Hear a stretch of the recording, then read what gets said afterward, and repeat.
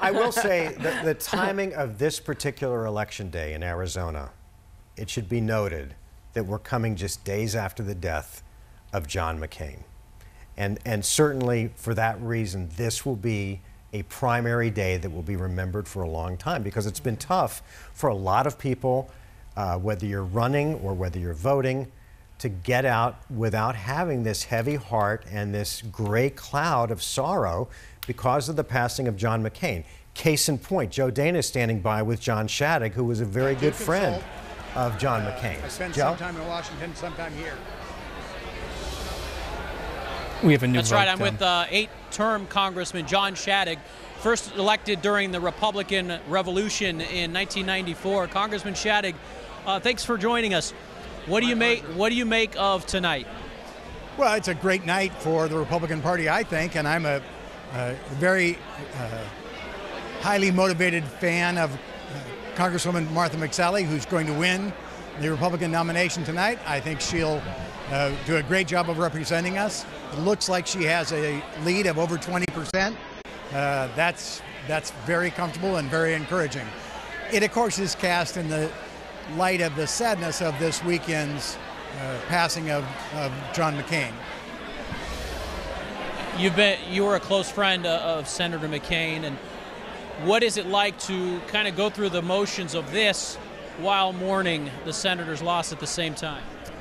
In, in some way, it lifts you up. Um, I don't know that I was personally close to John McCain, but I was a huge admirer of, of him because of his role model. Um, here's a guy that was a hero in the military, uh, and then I think a hero in his leadership in Congress. He gave his entire life to serving the country. Uh, I helped him in the 2008 campaign, and in that campaign, kind of the motto of the campaign was his call upon Americans to do something larger than themselves. And he, he is, by any measure, an American icon. Do you think President Trump, who so often goes off script, will be a strength or a liability for Martha McSally and other Republicans in the general?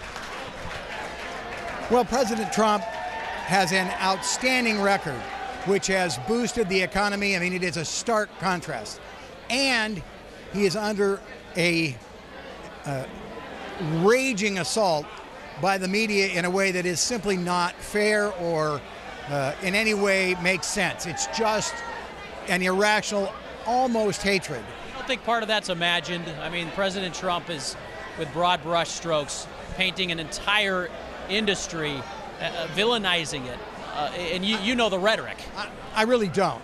Um, I get that he overstates it, and I get that he does a lot of things that step on his own message. And we could talk about other distractions, but I think the media really wants to get him very, very badly. And I think the American people are going to react to that and not react the way that the media want it. I think they're going to react and say, look, if this guy is under that much attack and the economy's that good, we need to support him. Honorable John Shadegg, thank you so much. We appreciate it.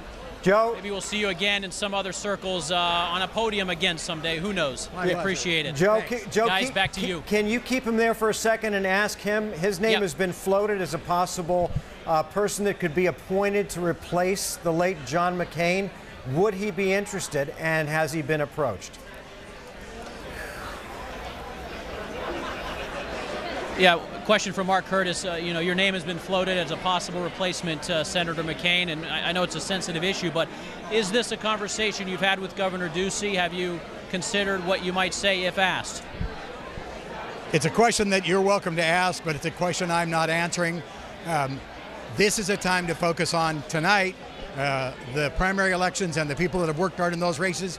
It's also a time to reflect on Senator McCain and what a hero he was and what an inspiration he is. I mean, the story about his plane catches on fire and he's on the deck of the aircraft carrier.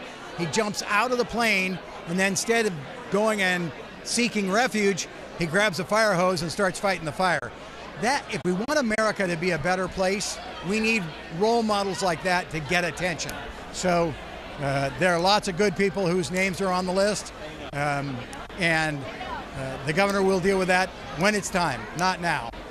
Fair enough. Thank you, John. We appreciate it. You bet. All right, Joe, thanks.